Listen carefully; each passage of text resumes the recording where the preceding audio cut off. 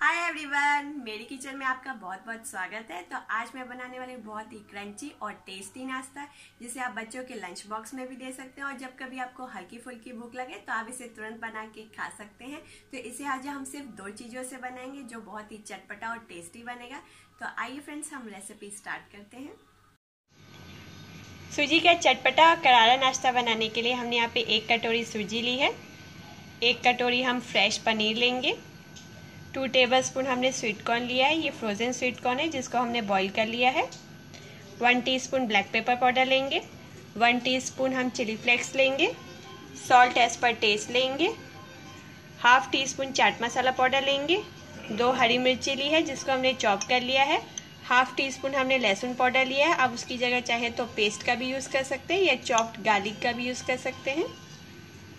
Half tea spoon oregano लेंगे एक नींबू का रस लेंगे और फ्रेश हरा धनिया लेंगे।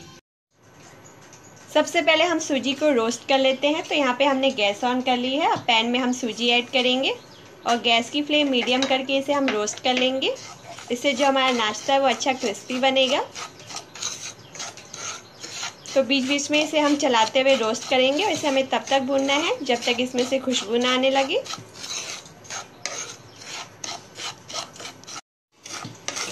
ये सूजी में से हमारी अच्छी खुशबू आने लग गई है तो अब हम इसमें डेढ़ कप पानी ऐड करेंगे।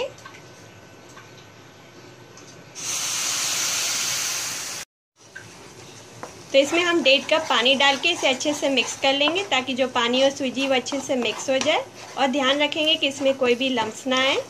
इसका एक हमको डो बना लेना है। ये सूजी हमारी अच्छे से फूल चुकी है और इसने सारा पानी एब्जॉर्ब कर लिया है। तो अब हम गैस की फ्लेम ऑफ़ कर देते हैं और इसे एक बॉल में ट्रांसफ़र कर लेते हैं।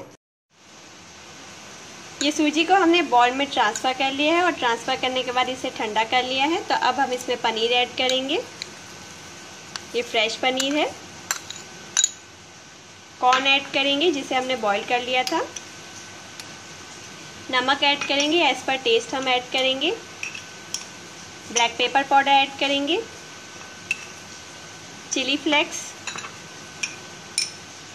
ऑर्गेनो लहसुन powder. Chaat masala powder.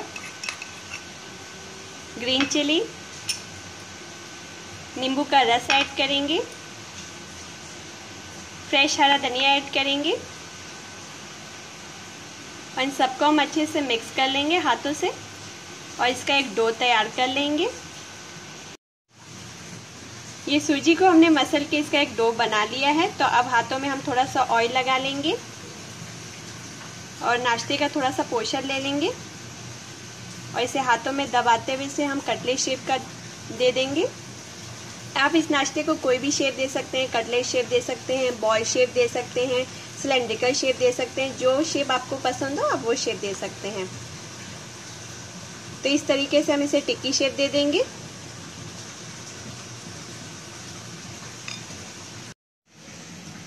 ये सूजी के हमने सारे कटलेट्स बना लिए हैं। तो अब हम लेंगे कॉर्नफ्लोर यहाँ हमने टू टेबल स्पून कॉर्नफ्लोर ले लिया है। इसमें हम थोड़ा सा पानी डाल के इसकी एक स्लरी तैयार कर लेंगे। और इसे अच्छे से मिक्स कर लेंगे ताकि इसमें कोई भी लम्स ना रहे।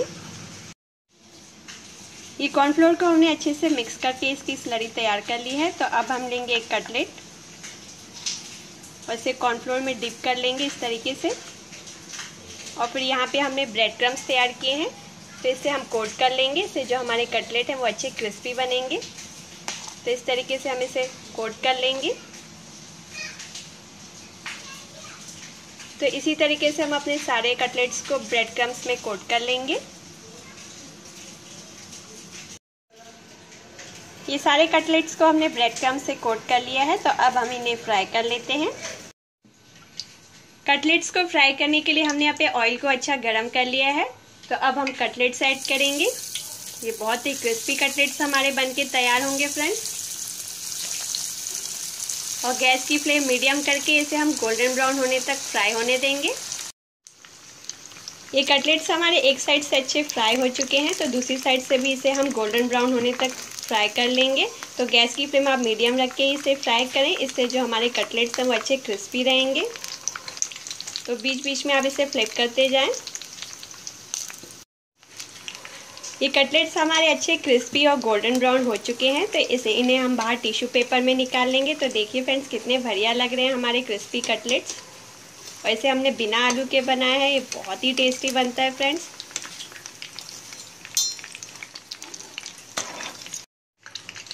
और इसी तरीके से हम बाकी कटलेट्स को भी फ्राई कर लेंगे। ये हमारे क्रिस्पी सूजी कटलेट्स बन के तैयार हो चुके हैं फ्रेंड्स। ये खाने में बहुत ही टेस्टी होते हैं। ये बाहर से क्रिस्पी और अंदर से सॉफ्ट होते हैं। तो आप भी इस प्यारी सी चटपटी सी रेसिपी को एक बार ज़रूर बना के ट्राई करें और हमें बताएँ कि आपको ये रेसिपी कैसी लगी। अगर आपको ये हमारा वीडियो पसंद आए तो उसे लाइक और शेयर करना ना भूलें। Thank you.